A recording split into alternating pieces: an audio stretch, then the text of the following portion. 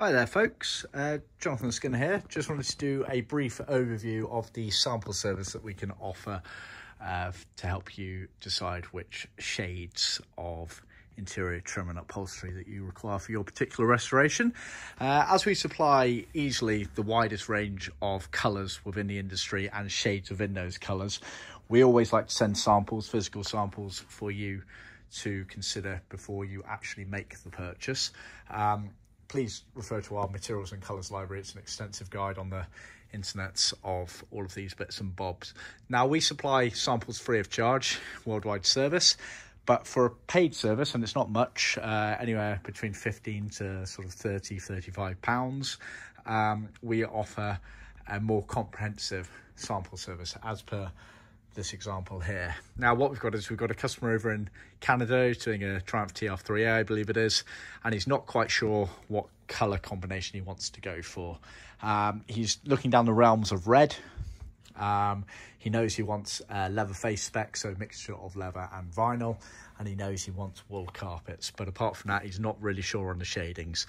So what we've got here, and we've compiled together for him, is a large sample set um, like I say, it's a paid for service and we DHL it or FedEx um, or UPS, uh, one of the courier services around the world uh, so that you can make an informed decision. So we've got the walls here, we've got black, which obviously we've edged in black either side, but then we've got different shades of red wool, anywhere from bright red up until maroon.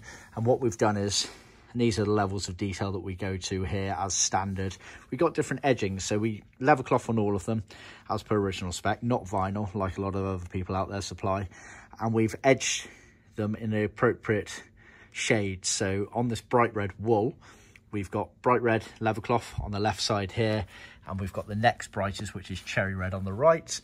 We then moved on to red wool, which is the next shade up effectively where we've edged that in cherry red and matador red.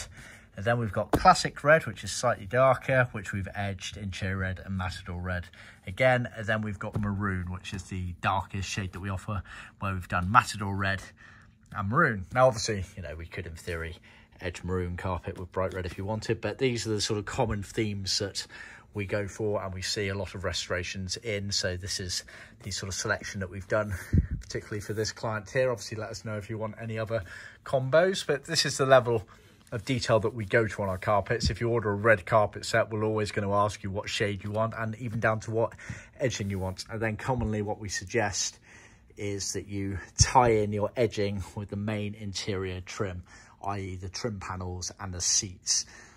Like I say, it's a bit of an art and a science with us. Uh, it's not just uh, one colour fits all.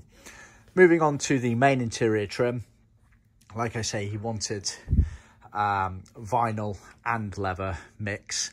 So what we've done is everything down the middle here is vinyl. We've then put two bits of piping on, both white, because that's what he knows he's going to be going for, which was a common theme amongst the TR range. And then on the right, we've done grained leather. And on the left, we've done smooth leather so that you can see all the different options. So at the front here, we've got bright red, then we've got cherry red, matador red, and maroon. So it gives you a really comprehensive view.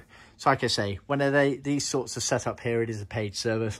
Commonly, we supply samples this sort of size, slightly bigger as well for some of the uh, vinyls and leathers, free of charge. Uh, these are actually the different hoodings that we're going to be offering to that particular client, as he's not sure on what hood to go for as well. So we've just done those there. But yeah, just the level of detail that I really wanted to demonstrate that we go to. You know, you shouldn't be rushing your restorations. You do this once, you should do it right. And like I say, it's not one colour suits all. This is your restoration. Make it how you want. And this is the levels of detail that we go to and that we're willing to help you out for. So yeah, hope you find this useful. I uh, just thought I'd give you a crash course on that. Uh, yeah, be sure to like, subscribe and share with other classic car enthusiasts out there. Tune in next time. Cheers.